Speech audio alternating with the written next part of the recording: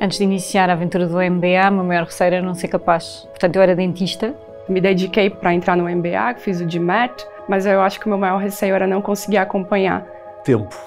No preciso momento em que eu decido fazer o MBA, tenho um convite para abarcar um novo desafio profissional. My biggest fear was leaving my comfort zone. Vim fazer o MBA porque precisava da mudança. Permitiu-me ter mais confiança para dar o salto e começar ao My Snacks. De facto, a gente começa a ver o que é que é mais importante e dá prioridade a determinadas coisas. It brought me to Portugal. Não foi um sonho, mas sim uma, uma decisão. Foi seguramente a decisão mais importante da minha vida, não tenho a menor dúvida. O objeto que eu trago é a mochila da Porto Business School. Carrega todo um simbolismo de, de uma bagagem, não é? Tudo aquilo que, que, foi transportado, não só fisicamente, mas também emocionalmente. Durante o MBA trabalhamos imenso no, no computador e, por norma, estamos sempre a olhar para baixo. Estamos sempre a olhar para baixo. E este objeto permitiu-me olhar em frente Fiz a escritura da minha casa a 27 de outubro de 2017, no dia a seguir a ter apresentado o projeto final aqui. Então acho que se fecham portas e abrem-se portas e, por que não, o porta-chaves da PBS. Eu tive a felicidade de ter, durante todo o MBA, um membro do meu grupo, que era dono da Ferreira.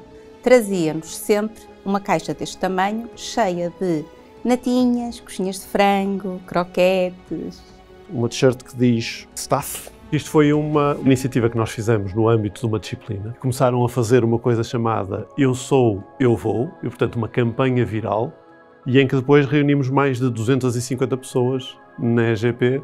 Foi muito marcante, eu fiquei muito feliz quando a gente ganhou esse prêmio, porque realmente estava achando que ia perder, e depois viramos o jogo, foi muito especial.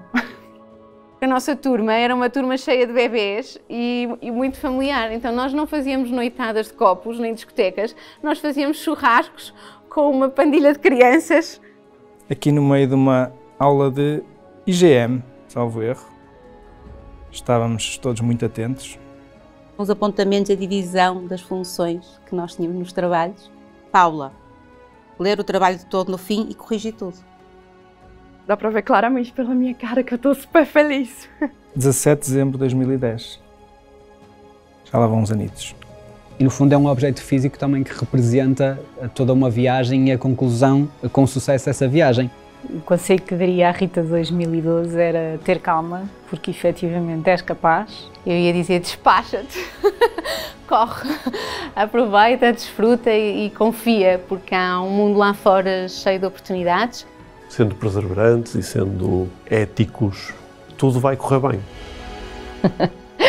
Relax and enjoy the journey.